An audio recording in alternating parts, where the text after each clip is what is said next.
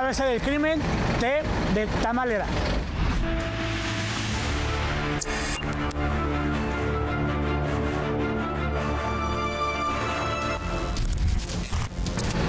Uno de los más grandes mitos urbanos que tenemos en la Ciudad de México es el famoso caso de las personas que son asesinadas para después venderlas cocinadas en tamales.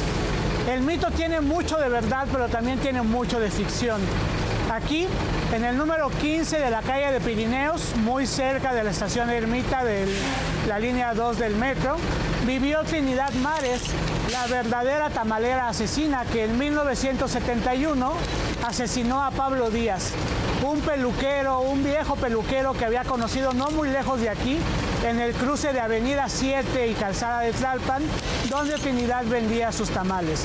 Se conocieron, se enamoraron, Pablo vino a vivir al departamento de Trinidad y sin embargo la violencia comenzó. Pablo golpeaba salvajemente a Trinidad y a sus hijos, por lo cual ella decide tomar venganza y asesinarlo. Pero no solamente fue asesinarlo, sino que lo descuartizó. Las piernas se las cercenó en vida y también lo decapitó. El cuerpo de Pablo fue encontrado muy cerca de Calzada de Tlalpan, en la calle de Sur número 171, pero solamente fue encontrado el tronco y los brazos.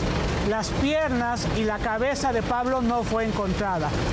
Al iniciar las investigaciones, se dan cuenta de que Pablo vivía aquí, en esta casa que tenemos a espaldas, y al preguntarle a Trinidad qué es lo que había pasado, ella declara que sí, que efectivamente, que lo había asesinado, había descuartizado el cuerpo y la cabeza de Pablo fue encontrada en una de las ollas de tamales que vendía Trinidad en el cruce de Calzada de Tlalpan y Zapata, a no más de cinco minutos de aquí.